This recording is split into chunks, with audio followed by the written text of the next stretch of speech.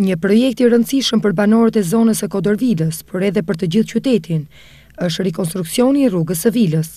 Rruga e Vilës, të cilën të gjithë banorët e Durrësit e njohin shumë mirë, ndodhet në lagjen numër një të qytetit dhe është e gjatë një mijë e tridhjetë metra. Kjo rrugë fillon me kryqëzimin e rrugës Anastas Durrsaku me rrugën e Epikadëve. Kjo rrugë panoramike, që i ngjitet kodrës deri tek vila rezidenciale, Ka një gjerësi gjashtë metra dhe para pak muajsh ishte pa trotuar dhe totalisht e amortizuar. Investimi prej tetëqind e nëntëdhjetë milionë lekësh, ka ndryshuar pamjen e kësaj rruge, duke ndërhyrë në të gjithë elementët e saj, si në standardin e shtresave të rrugës, në muret mbajtëse të gurit duke dekoruar faqet e tyre ballore dhe në veshjen e mureve të betonit ekzistues.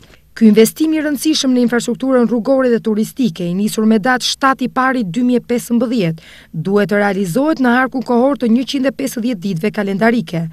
Fundjavën që lamë pas, u hodhën dy shtresa asfalti, duke krijuar në këtë mënyrë lehtësira në qarkullimin e këmbësorëve dhe të automjeteve. Në ditët në vazhdim pritet të punohet për instalimin dhe vendosjen e ndriçimit në këtë rrugë. Redaksia e lajmeve e Televizionit Adrianet, shpeshherë ka qenë prezent duke pasqyruar me kronika problemet e shumta që hasnin banorët e kësaj lagje duke qarkulluar në këtë aks rrugor, duke nxitur në këtë mënyrë rehabilitimin e rrugës së Vilës.